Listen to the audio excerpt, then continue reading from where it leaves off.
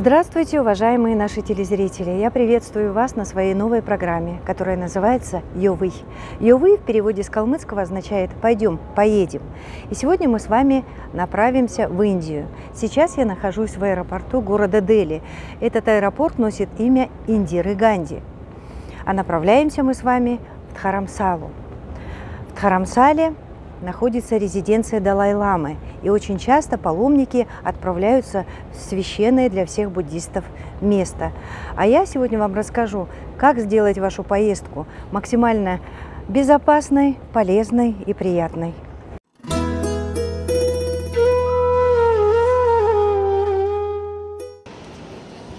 Паломнический тур обычно отправляются группами – для того, чтобы поездка удалась по всем пунктам, необходимо все продумать и тщательно подготовиться. Для въезда в Индию россияне могут оформить бумажную или электронную туристическую визу. Ее нужно распечатать в цветном варианте в трех экземплярах, чтобы предъявить на паспортном контроле при въезде, при оформлении аудиенции в офисе Далай-Ламы и при выезде из страны.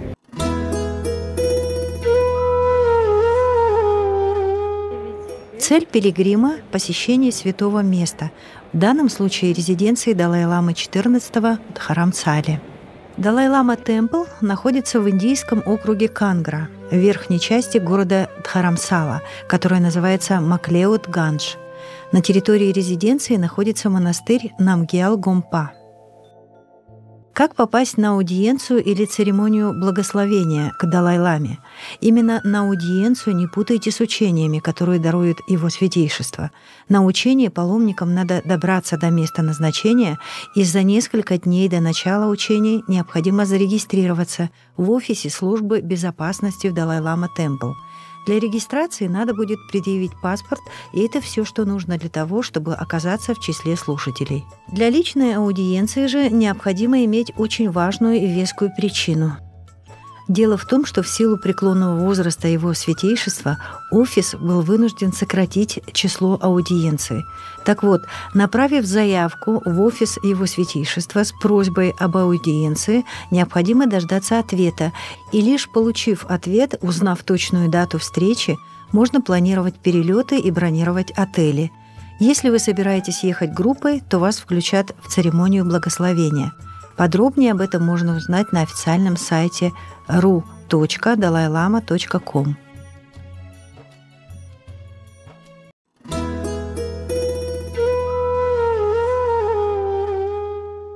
Намечаем маршрут следования. Стартуем из Москвы в Дели, а там внутренними рейсами до Дхарамсалы.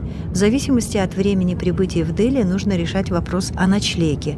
Лучше, конечно, постараться в этот же день улететь в Дхарамсалу или уехать на автобусе. Лететь 2 часа, ехать примерно 10-12 часов. Мы приземлились в аэропорту Тхарамсала примерно в полдень. На такси добрались до отеля Маклеод Ганж. Пока мы едем, расскажу о бюджете. На перелеты и поездки мы потратили около 65 тысяч рублей. На проживание и питание нужно взять с собой не менее 300 долларов. Для страховки можно взять немного больше. Валюту лучше приобрести в России. Лучше новые купюры при обмене на рупии их стоимость будет выше. Кстати, курс рупия к российскому рублю почти одинаковый.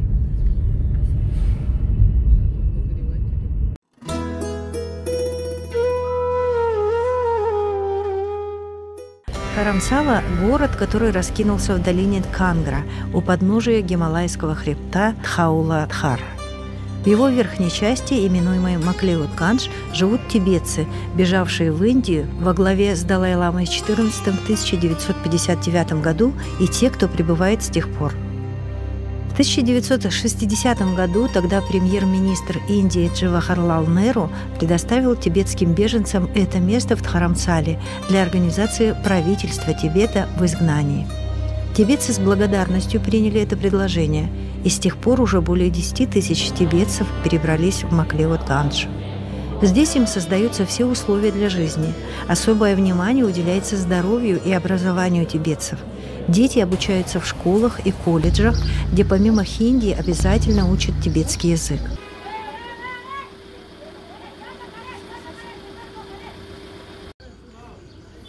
В резиденции его святейшества дежурят волонтеры, которые ведут прием простых тибетцев, записывают их к врачам, помогают в решении каких-либо жизненных проблем. 80% людей, пришедших на аудиенцию к Далай-Ламе, составляют тибетцы. Харамсали с великим почтением относится к лидеру буддистов. Это видно уже в аэропорту. Входя в здание аэропорта, многие люди кланяются портрету Далай-ламы. Сами тибетцы очень глубоко и искренне почитают все, что связано с его святейшеством. Третий день недели – среда – для них считается счастливым днем. В этот день недели родился Далай-лама. Тибетцы каждую среду устраивают праздник, обычно по вечерам. После работы собираются на площади, чтобы вознести все почести его святейшеству. Вокруг портрета Далай-ламы под звуки тибетских мелодий происходит восхитительное действие.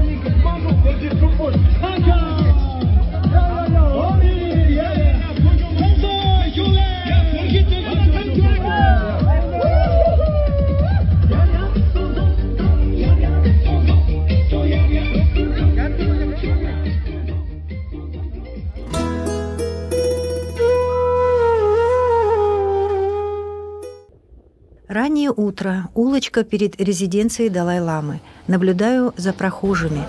Какую картину можно ожидать?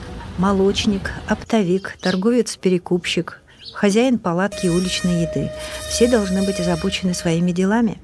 А нет. Тут утро начинается с молитвы, и никакой суеты. Идут, перебирают четки, шепчут молитвы.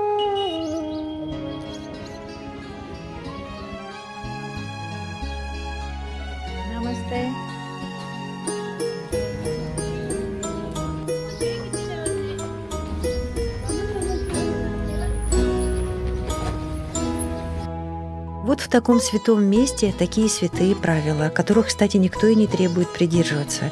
Хотите, идите вокруг храма, пройдите вокруг молельных комнат и покрутите барабаны. Хотите, сделайте простирание в специально отведенном месте с варежками для защиты ладоней. А захотите, отправляйтесь в большое кора. Кора по-тибетски – это обход вокруг святыни. В данном случае вокруг монастыря Далай-Лама Темпл – Лучше не слишком рано утром и не очень поздно ночью, поскольку тропа проходит через лес, и велик риск встретить дикого зверя.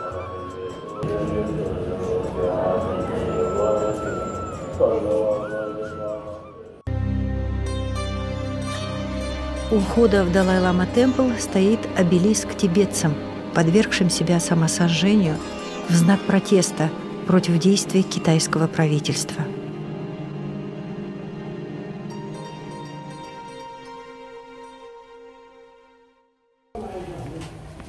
Поднимаемся выше ко входу. Здесь можно посетить вот такую библиотеку. Сюда собирается литература, связанная с тибетским буддизмом, а также материалы, посвященные деятельности его святейшества по всему земному шару. На всех языках, представьте себе.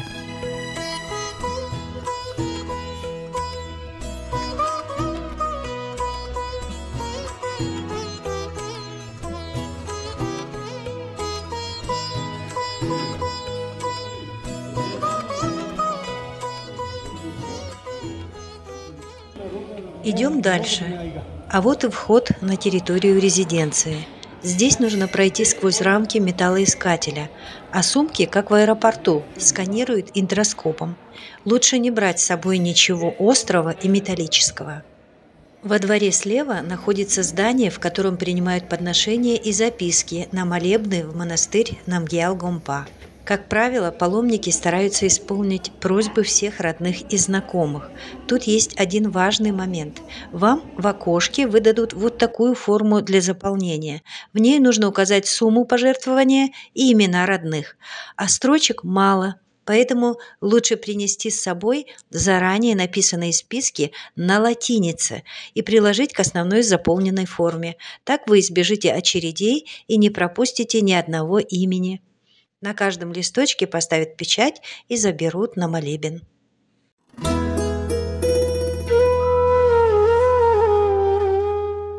В монастыре проходит обучение молодых монахов, и очень часто во внутреннем дворике можно наблюдать вот такую картину. Это философские дебаты. важная составляющая обучения монахов именно тибетского буддизма. Процессе дебатов монахи закрепляют полученные знания, оттачивают мастерство дискуссии, логики, анализа. Считается, что такая практика обостряет ум и развивает в человеке мудрость и стрессоустойчивость. Монахи попарно располагаются на площадке, выбирают тему и начинают дискутировать. Можно увидеть, как некоторые из них очень эмоционально выражают свою точку зрения, говорят громко, иные подпрыгивают и громко хлопают в ладоши. Хлопок в ладоши означает законченную мысль, на которую должен выдвигать свои доводы его оппонент. На лицо разгоряченный спор – при этом все монахи очень дружны, ни о каком соперничестве речи нет, потому что эта практика существует много веков и призвана служить учению и распространению учения Будды. Не просто сказано, что в споре рождается истина.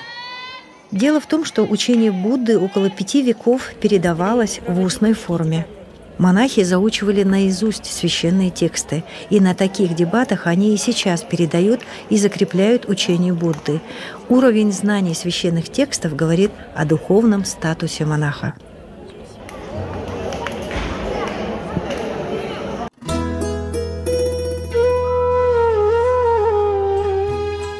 На второй день пребывания в Маклеод-Ганж мы решили отправиться в Большое Кура – Обходить всю резиденцию Далай-Ламы следует по часовой стрелке, по ходу солнца. На протяжении всего пути Большого круга встречается очень много священных знаков. Это камни с нанесенными на них молитвами, огромное количество молитвенных барабанов, старинных ступ и развивающихся на ветру разноцветных флажков.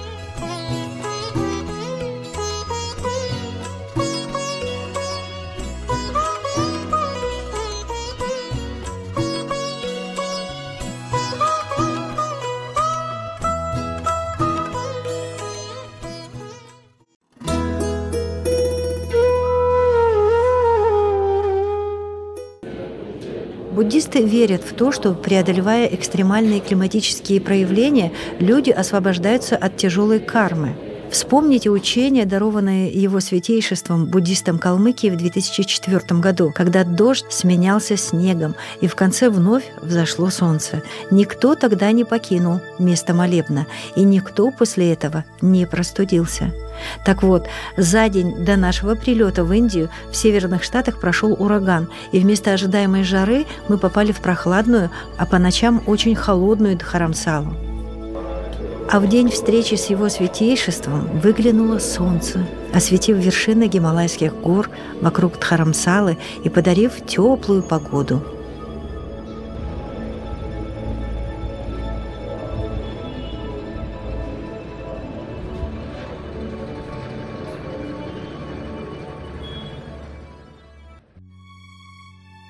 И вот наступил день аудиенции. В 7 часов утра все приглашенные делегации приходят к воротам резиденции. Двор заполнен людьми, одетыми в красивую парадную одежду. Каждая встреча – это более до 300 человек из разных стран. Конечно, 80% людей, которые удостоятся аудиенции, это сами тибетцы, а вот 20% это люди из разных стран. Вот в том числе мы в этот раз. Сегодня здесь есть несколько делегаций монахов и монахинь из других стран. Все светятся, улыбаются, все счастливы в предвкушении встречи с живым воплощением Будды Авалакитешвары на земле, лидером всех буддистов мира, его святейшеством Далай-ламой XIV. Все улыбаются, все такие счастливые. Вообще здесь царит такая атмосфера добродушия, доброжелательности, открытости, любви ко всему, э, ко всем, кто вокруг. Здесь находиться это какое-то какое-то счастье, это действительно подарок судьбы. Направляясь на аудиенцию, вы можете взять с собой священные предметы буддийской атрибутики, фотографии родных, это все у вас заберут на входе, отметят номерком и вам дадут талончик для получения всего этого обратно после освящения его святейшеством. Войти в зону аудиенции вы можете только с ходаком. Телефоны, камеры и все предметы останутся за воротами.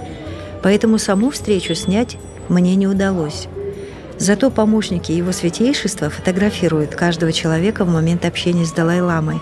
После вы получаете ссылку и скачиваете свои фотографии.